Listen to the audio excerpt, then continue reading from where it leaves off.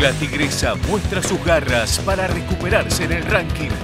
Desde el Mercado Central, Marcela La Tigresa Cuña versus Soledad Matisse en vivo. Otra gran noche de boxeo. Este viernes a las 23.15 por la TV Pública Digital.